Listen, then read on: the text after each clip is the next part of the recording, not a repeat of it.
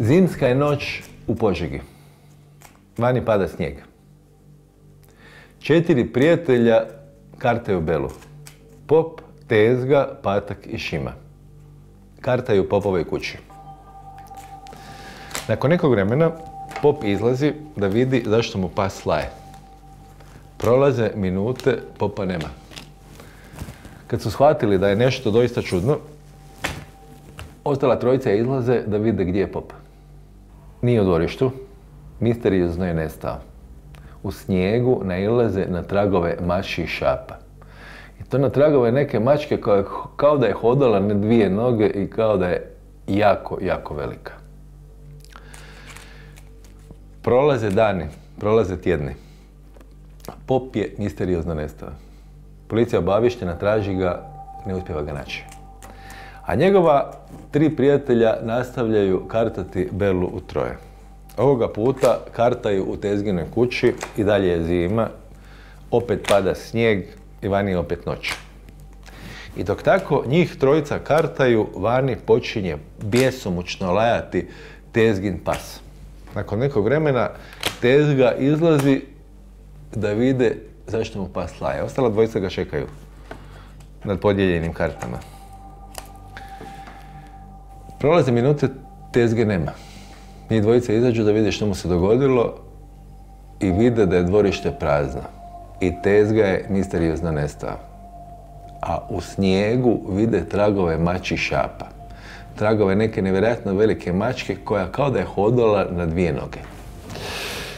Tezga ima bolesnu ženu koja leži u Požeškoj bolnici. Ima kćer Maricu u kojoj sad više nema tko brinuti, s obzirom da je otac nestao, a majka u bolnici. Pa Marica seli k baki u Zagreb. Marica dospije u razred u kojemu je Domagoj Kovačić, koji se pojavljuje u romanu Tajna riblje Goka i sada u romanu Tajna mače šape. Učiteljica iz Hrvatskog da učenicima zadatak da opišu u zadaći najstrašniji događaj u svome životu. Marica u svojoj zadaći, opiše kako je nestao njen otac i kako je prije toga nestao njen prijatelj. Pri tome spomene i tragove mačkih šapa koje su se pojavile prije oba nestanka. Slučajno, učiteljica baš nju prozove da pročita svoju zadaću pred cijelim razredom. Kada su to čuli, većina učenika se počne smijati, misleći da je Marica sve izmislila. Jedan od rijetkih koji se ne smiju je Ante. On kaže da u selu u kojemu je rođen postoji legenda o mačkoglavu, strašnom stvorenju koje se pojavlja u gladnim godinama i koje nikako ne voli da mu se smiju. Kada su to čuli oni koji su se do tada smijali, počeli su se smijati još jače. I ne sluteći pri tome, koliko je pogrešno to što su se smijali. Mačkoglav se doista pojavljuje u Zagrebu. Pojavljuje se i u školi u kojoj su mu se smijali.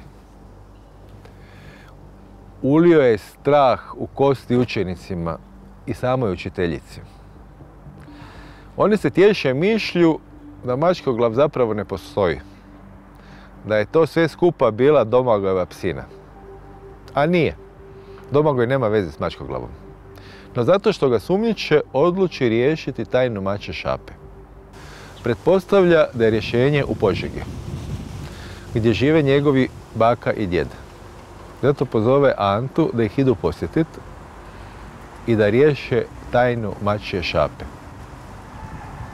Pri tome nije ni slutio koliko je pustolovina u koju se upušta strašna.